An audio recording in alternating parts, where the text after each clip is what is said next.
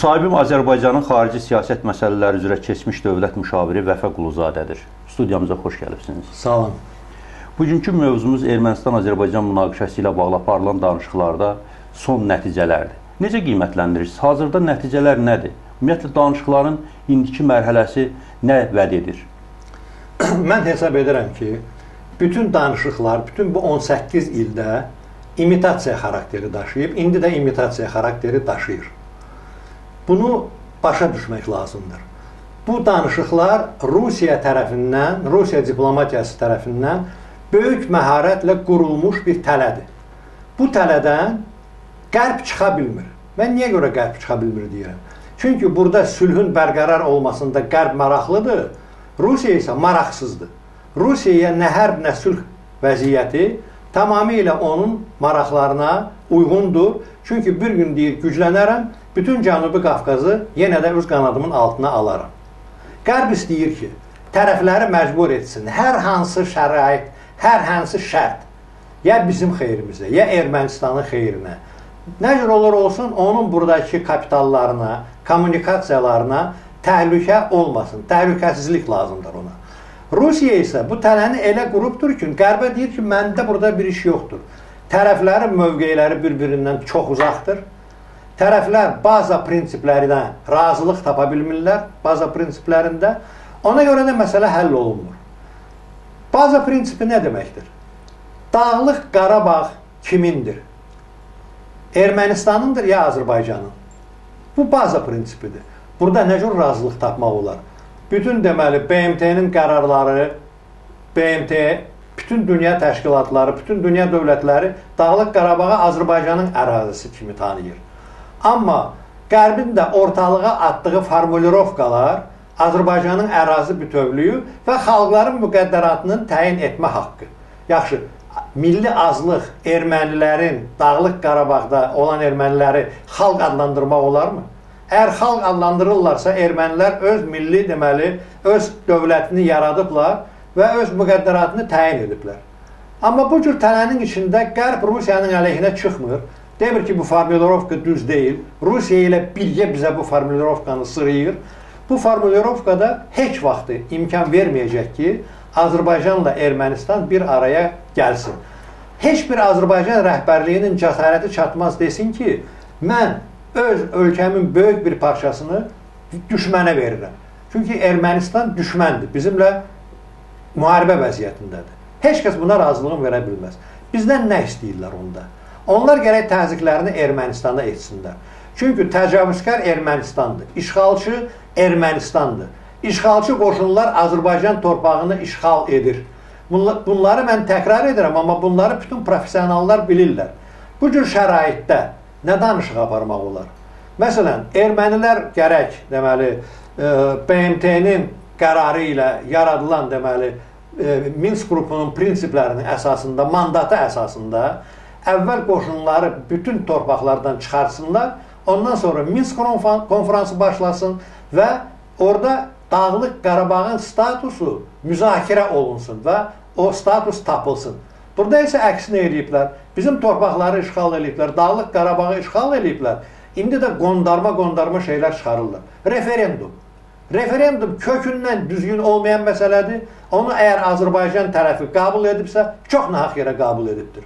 Çünki Sovet hökumətinin siyasəti bəlli idi. Ermənistandan deportasiyalarla Azərbaycanı Azərbaycanlıları sıxaşdırıb çıxardıblar. Sovet dövründə isə Dağlıq Qarabağdan Azərbaycanlıların sayını 30%-ə salıblar Dağlıq Qarabağda. İndi də biz razılıq veririk ki, biz referendum keçiririk. Yəni o referendum keçirilsə və deyək ki, xəyali surətdə bütün o er, deməli Dağlıq Qarabağdan qovulanlar, güllələnənlər qayıtsalar yerlərinə yenə də bu referendumda ermənilər qazanacaqdır. Yəni torpaqları ermənilərə vermək, bununla da sülhə nail olmaq. Rusiya isə buna razılıq vermir. Ona görə baxın görün, Rusiyanın keçirdiyi bütün deməli bu dövlət başçıları ilə görüşlər hamısı uğursuz. Soçi uğursuz, Moskva uğursuz, Sankt-Peterburg uğursuz, indi də Qazan uğursuz. Mən də bunların hamısının adı şəkləndə ki, Qazanda görüş olacaq, o dəqiqə deyirəm ki, uğursuz olacaq. Çünki mən özüm bu işdə başdan iştirak etmişəm. Bilirəm ki, Rusiyanın qurduğu tələdir Qərb də bu tələdən çıxa bilmir. Madrid prinsiplərini həm sədr dövlətlərin özləri irəli sürüblər. Yenilənmiş Madrid prinsiplərini. Ermənistan bunu da qəbul etmir. Bu prinsiplər Azərbaycan irəli sürməyib ki, yəni həm sədrlər irəli sürüblər də, həm sədr dövlətlər irəli sürüblər. Bunun üçün Azərbaycana təzyiq etmək, təsir etmək nə dərəcədə doğrudur? Bilirsinizmi? Belə bir ehtimal var ki, Qərblilər düşünürlər ki, Azərbaycanlılar pərdələnmiş variantda Dağlıq Qarabağı ermənilərə verməyə hazırdılar. Ona görə də Azərbaycana təzyiq edirlər. 7 rayonun əvəzində deməli Dağlıq Qarabağı Azərbaycan verməyə hazırdır. Ona görə bütün bu variantlar, bütün bu deməli Alan adalarıdır, ondan sonraki Tataristan variantıdır, ondan sonra Tirol variantıdır. Axırıncı bu Tirol variantıdır. Bunların hamısını da Ermənistan bir-bir rədd edir. Niyə görə? Rusiya Ermənistana sərt əmr veribdir. Heç bir güzəştlərə getməmək, heç bir şeyi qəbul etmək. Yalnız müstəqillik. Amma son dövrlər e, elə bil ki, siyasi proseslər bu sahədə, yəni danışıqlar prosesində siyasi bəyanatlar aktivləşibdir. Yəni çox bir-birini əvəz eləyir. Prezidentlər bir-birindən danışırlar, xarici işlər nazirləri qarşılıqlı səfərlər edirlər, məsləhətləşmələr gedir. Yəni çox belə sıx görüşlər davam edir və son Kazan görüşündən sonra da tərəflər e, yəni danışıqları davam etdirəcəyini bildiriblər. İndi də Lavrov Rusiyanın Xarici İşlər Naziri Vaşinqtonda danışıqlar aparır. Bu gün dövlət katibindən danışıqlar aparacaqdır. Nəticələrdən nə gözləyirsiniz?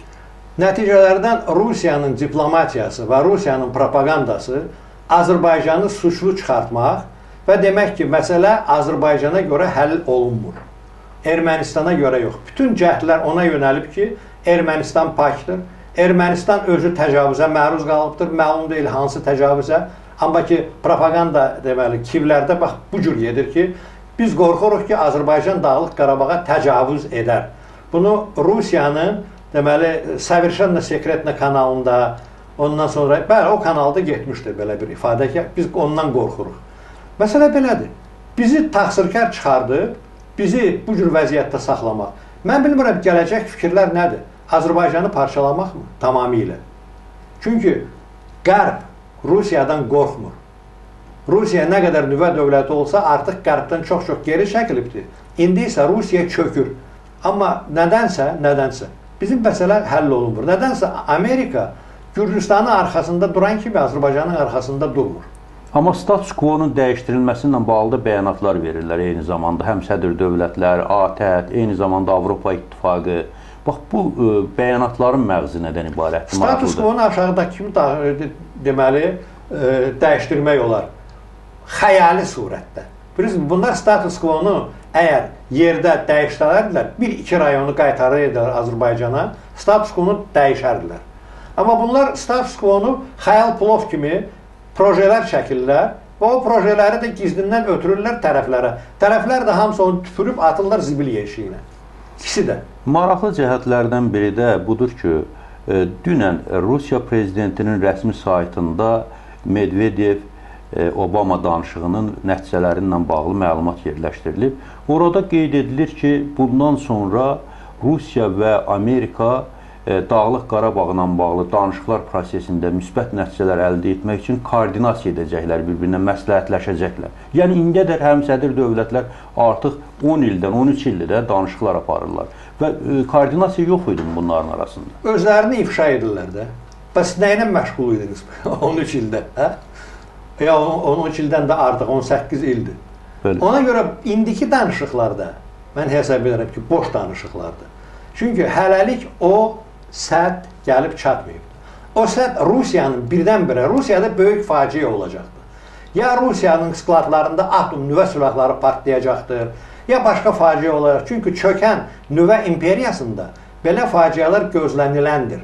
İndi gündəlik faciələri ki, bizə göstərirlər, təyyarələri, gəmiləri, ondan sonraki elektrik stansiyalarının partlamasını, ondan sonra silah arsenallarının partlamasını, Uralda partlayanda dedilər ki, orada nüvə başlıqları da var idi. Amma ruslar dedilər, yox, nüvə başlıqları yoxdur, adicə raketlərdir. Amma ki, divarın eni 6 metrədir, alov ora keçə bilməz. Alov 6 metrəni də keçə bilər, 18 metrəni də keçə bilər. Bu dəfə keçməyibdir. Gələn dəfə keçəcəkdir. Bax o vaxtı bizim işdə bir dəyişiklik ola bilər. Ona qədər Rusiya imperiyadır, mentaliteti imperiya mentalitetidir.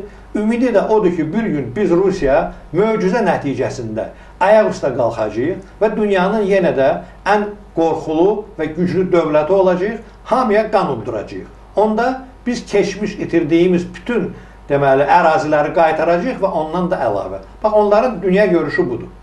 Danışıqlarda bir nəticə əldə olunmur. Azərbaycan prezidenti də dünənki çıxışında qeyd edib ki, bu danışıqların sonu ola bilər. Yəni danışıqlarda son mərhələdir artıq bu. Yəni bundan sonra danışıqların sonu müharibə deməkdir də, diplomatiyanın silahla davamıdır. Bu aktivləşsə müharibə regionda nə gətirə bilər Azərbaycana xüsusilə? Bilirsinizmi, bu müharibə məsələsi asan məsələ deyil. Bu müharibədə Azərbaycan Ermənistanla üz-üzə dayanmayıb və bizim torpaqları işğal edən Ermənistan olmayıbdır. Rusiya imperiyası olubdur. Rusiya imperiya maraqlarıdır. Üstəlik də ki, Ermənistan xristian milləti kimi, xristian dövləti kimi Amerikada böyük dəstəyə malikdir. Erməni lobbisi orada güclüdür və Amerikanın siyasətinə təsir edir. Ona görə müharibə Azərbaycan gərək birdən-birə iki güclü deməli dövlətə zərbə endirsin ki, onlar ermənilərə kömək eləməsin. Biri Rusiyadır, biri Amerika Birləşmiş Ştatlarıdır. Ondan sonra Ermənistana girişmək olar. Onda Ermənistanı biz darmadağın edərik və bütün torpaqlarımızı qaytararıq. Amma biz torpaqlarımızı qaytarmağa başlayan kimi bizi ittiham edəcəklər və Rus ordusu bizə hücum edəcəkdir. Nə qədər biz güclü olsaq, Rus ordusu nə qədər bu dəqiqə zəifləmiş olsa, o keçmiş deməli böyük deməli dövlət ordusudur. Ona görə bizim nə silahımız, nə başqa şeylər onlara çata bilməz. Mən başqa şeydən narahatam, həmişə deyirəm, indi də təkrar edirəm. Rusiyanın planlarında Azərbaycana hücum etmək var. Amma ki, bunu elə oynamaq ki, desinlər ki, Azərbaycan hücum etdi, Azərbaycanın əsəbləri tab gətirmədi, ondan sonra bizim cavabımızı versinlər. Məsələn, Gürcüstana Rusiya hücum edibdir. Saakashvili Osetiyaya hücum zət eləməyibdir. Və iki ay bundan ondan əvvəl mən bunu demişəm ki, Rusiya Gürcüstana hücum etməyə e, etməyə e, edəcəkdir. Gürcüstana hücum edəcəkdir. Amma gördünüz ki, başladılar Saakashvilini ittiham etməyə güya o müharibəni başlayıbdı. Bu elmdə, yəni ki, əskəri elmdə məlumdur. Bu kombinasiyanı nə cür etmək ki, e, hücum edən tərəf hücum olunan tərəfi ittiham edir, deməli, e, təcavüzlə. İndi hazırda ə, e, Qarabağ məsələsi bir yana dursun. Xəzərdə, yəni biraz problemlər yaranıbdı. Çünki bu Nabucco layihəsi ilə bağlı artıq İran və Rusiya bəyanat veribdi ki, burada ekoloji mühitə təsir etdiyinə görə biz buna razı ola bilmərik. Yəni yeni bir münaqişə mənbəyi yarana bilərmi? Avropa sonradan Azərbaycanı, Gürcüstanı o qədər də müdafiə etmədilər, aktiv müdafiə etmədilər, yalnız bəyanatlarla müdafiə edə bildilər.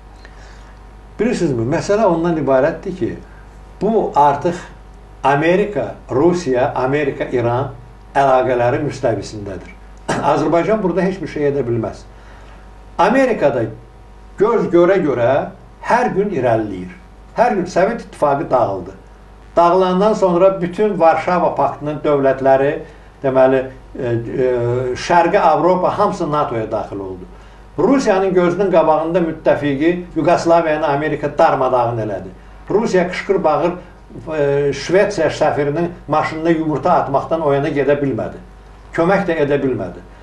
Ondan sonra Pribaltika respublikalarının hamısı NATO-ya daxil oldu. Rusiya Gürcüstanda böyük fiaskoya məruz qaldı. Niyə görə? Rusiyanın məqsədi Abxaziya ilə Osetiyanı tutmaq deyildi. Çünki onlar onsuz da Rusiyanın nəzarəti altında idi. Rusiyanın sülh məramlıları işğalçılara indi sülh məramlılar deyirlər. Sülh məramlıların deməli nəzarəti altında idi. Onlar Tiflisdə çevriliş edib Georgadzanı gətirsinlər Saakashvilinin yerinə və yenidən deməli Gürcüstanı Rus yenili dövlət edib Xəzərdən bütün çıxış yollarını bağlamaq idi. Buna nail ola bilmədilər, Amerika mane oldu. Ona görə Rusiya bunu qələbə kimi deyir, amma ki professionallar başa düşürlər ki, qələbə olmadı, bu Rusiya üçün məğlubiyyət oldu. Nabokko tikiləcəkdir. Bu da Rusiya üçün bir məğlubiyyət olacaqdır. Çünki Amerika səsini qaldırmadan öz işini görür. Pro məsələsində məsələn ə, raket sistemlərinin əleyhinə sistemlərdə Rusiya heç bir şeyə nail ola bilmədi. Amerika-Rusiya əlaqələrində heç bir irəliləyiş ola bilməz. Niyə görə? Rusiya yalvarır ki, bizi də özünüzə bərabər sayın. Amerika qulaq ardına vurur ki, hardan bərabərsiz siz? Biz güclük, biz istədiyimizi edirik. Bax Suriyada da həmçinindir, Liviyada da həmçinindir, Yaxın Şərqdə də həmçinindir, Misirdə də həmçinindir.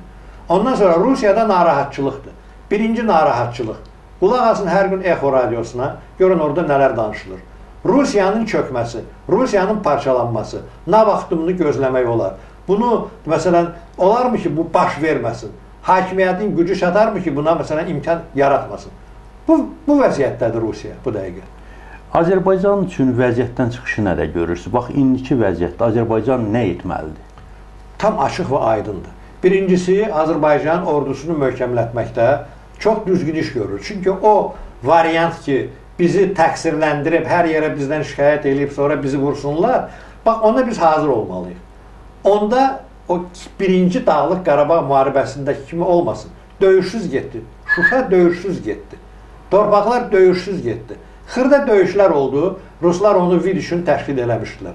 Biraz bizə silah atmışdılar. Ondan sonra biz bir qədər müqavimət e- etmişdik. Sonra da ki özləri gəlib hamısını almışdılar.